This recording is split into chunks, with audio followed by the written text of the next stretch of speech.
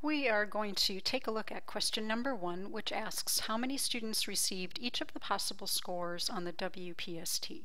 So the WPST is a writing proficiency exam administered, or it used to be administered on CSU campuses, and it is scored by two raters that could each give a value of 2, 3, 4, or 5. So the range of possible scores was 4 to 10, and a 7 was considered a passing score.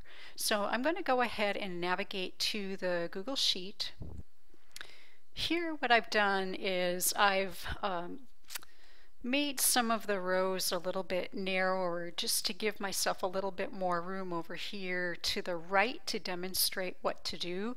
It's not necessary for you to do the same thing. Um, you Basically, you can work in any blank space. This was just for recording purposes. So what I'm going to do is I'm going to click in any empty cell. So I'm going to click N3, but it could be anywhere. And I'm just going to type in score and then in O3 I'm going to type in frequency. So since the possible scores can be 4 through 10, I'm going to type those values in here. And then what I would like Sheets to do is display how many people had a score of 4 and how many people had a score of 5 and so on. So if you don't know what the function or formula should look like, what you can do is come up here to the summation symbol and if you click the little triangle there, if what you're looking for doesn't seem to appear in that short list, you can click on more functions and that will take you to a website where you can type in the word that you're looking for. So this is going to be frequency. I'm interested in finding the frequency.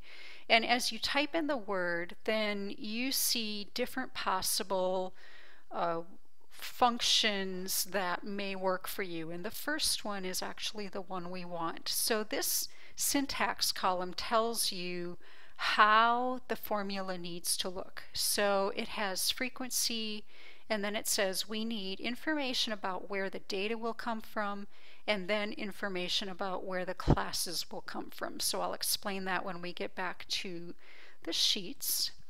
So what we're going to do is we're going to click in cell O4, so that's the cell I want to display the frequency of those getting a score of 4. And then what I'm going to do is I'm going to type in equals because every formula has to start with an equals. So up here in the formula bar is where you actually see the equals. And then the previous web page indicated I have to type the word frequency.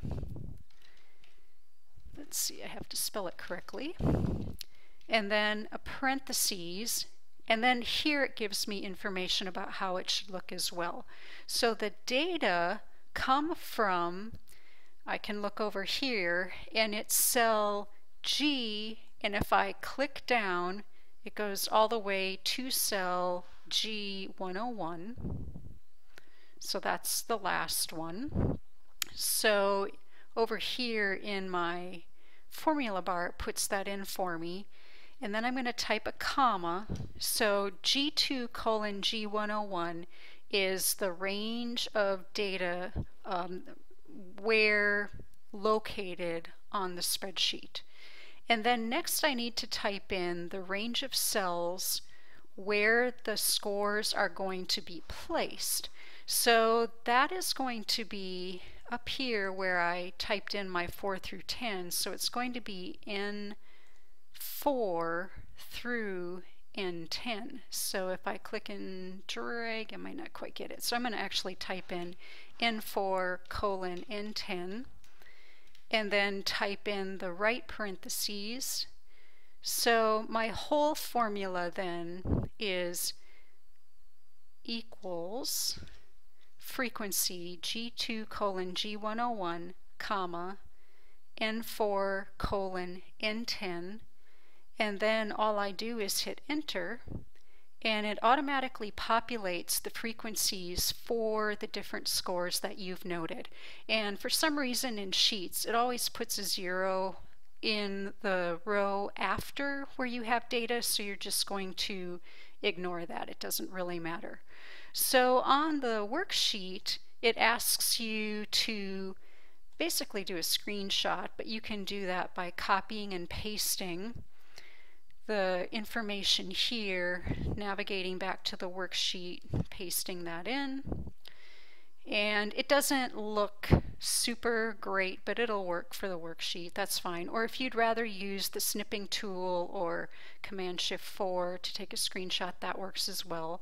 And then it asks you to copy the formula. So to do that, you need to actually click in one of the cells that had the frequency formula and then come up here to the formula bar and select it, copy it, and then paste that uh, it actually kind of messed up here when it did the paste, but that's okay. You can just, you can paste it below.